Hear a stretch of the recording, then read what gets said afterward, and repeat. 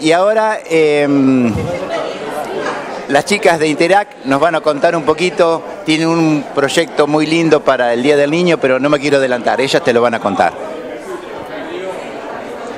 Eh, bueno, nosotros desde Interac vamos a celebrar el mes del niño y vamos a empezar el sábado 11 de agosto haciendo un cine inclusivo.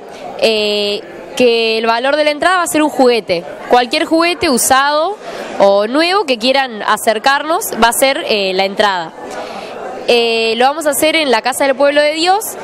Eh, todavía no sabemos el horario, pero les vamos a informar para que puedan ir todos los que quieran porque va a estar muy lindo. Sí, también vamos a ofrecer un servicio de cantina a muy bajo costo para poder con esa plata hacer los demás proyectos para este mes. El, objetivo de juntar los juguetes es el 18 de agosto hacer un proyecto que se llama la cuadra de los juguetes. En esta cuadra vamos a estar recibiendo donaciones de juguetes hasta completar la cuadra. Eh, los juguetes también pueden ser eh, usados, eh, lo que sí pedimos que estén en buenas condiciones. los vamos a recibir de 4 a 7 de la tarde. Así que están todos invitados los que quieran donar juguetes para después repartir entre distintas instituciones.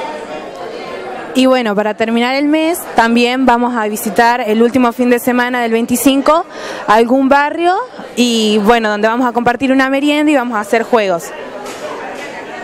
Ah, y bueno, además está decir que si tienen alguna complicación para traer el juguete el sábado, nos pueden mandar nosotros por Facebook o Instagram y lo vamos a buscar o organizamos para ver cómo hacer para llevarlo. Bueno, eso queríamos aprovechar el Día del Amigo para difundir, para contarles en qué estamos trabajando. Yo agregaría que mm, mi agradecimiento a, mis pares, a los socios de Rotary, a las mujeres de la rama interna, a las chicas de Interac, que verdaderamente hacen una tarea muy linda, muy interesante y siempre pensando en la comunidad. Solo me queda que las cosas que hemos por ahí pedido o contado, si alguien quiere vincularse con nosotros, llamarnos, contarnos, acercarnos cosas, usamos como lugar de referencia el domicilio del Banco Ortopédico, la calle Bernardino Esperanza, donde siempre hay gente y si alguien quiere ir a dejarnos alguna cosa, nos va a encontrar sin ningún problema. Y si no, contactarse con los distintos integrantes de Rotary.